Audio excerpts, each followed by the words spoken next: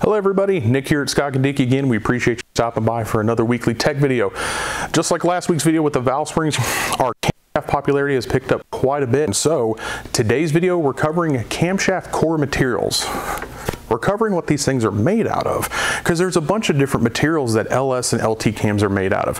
For instance, I have one of our race shop cams here in my hand, but I also have another roller cam here for actually a custom engine project you'll be learning about in just a few months. So not going to spill the beans just yet, but it's definitely good to have them here side by side so you can see. And roller camshafts are usually made out of a steel cam instead of like an iron like a flat tappet. They need to be. They need to be a little bit tougher. This surface not only does need to be to a nice polished finish, but it needs to be a little bit harder.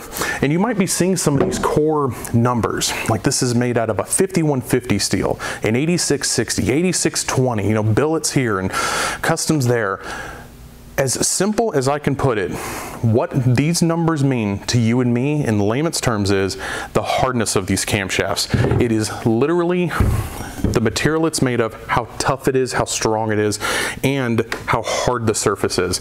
The reason for that is because a lot of our SDR camshafts, like the one here, the ones you guys have probably been buying lately, well, they're a lower lift camshaft. They're designed to work with the B high valve springs we were talking about last week. They're designed to work with factory LS7 roller lifters. Cheap, durable, long lasting. That was a 5150 core.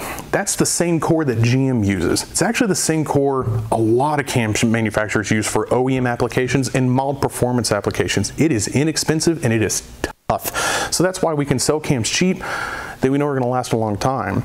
But if you've probably noticed, we have some cams and other manufacturers have some cams. They're much bigger in specs, bigger duration, much higher lifts. They don't offer them in a 5150 core. They step up to like an 8660 or maybe even an 8620 billet.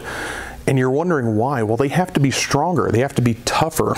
The surface finish is much stricter. And of course, they run much harder rollers on the lifters to handle the extra abuse and RPMs as well as the valve springs themselves. It all translates back down to what's hitting this camshaft. It needs to be a lot tougher. So our less expensive camshafts, our more entry level and mild performance camshafts are made out of the same cores that OEM manufacturers use from Ford, Dodge, Chevy, imports, it doesn't matter. They're usually all made out of that 5150 steel. Then it goes on to the bigger and badder stuff, well, they get the more expensive but way more durable 8660. And of course, some cam, uh, camshaft manufacturers do offer their camshafts in the milder grinds in an 8660. That's for people that just want a peace of mind. But for us, we've seen the durability testing and we've seen them push the limits even further and they are plenty strong. So that's why you'll see some of our entry level cams 5150 like this here and this one at the table or maybe an 8660 for you guys that really are pushing them harder, maybe even a low lash solid roller from a company like Cam Motion. That stuff, it's gotta be tough. We appreciate you guys stopping by for another one of our weekly tech videos. We know you guys are always uh, tuning in to see, you know, what kind of information we can give on anything from camshafts to valve springs, cylinder heads, intake manifolds, whatever we can share to help out hot rodders like you and me. Please give us a like, subscribe, and share on both Facebook and YouTube. We're always trying to spread this information to help out everybody.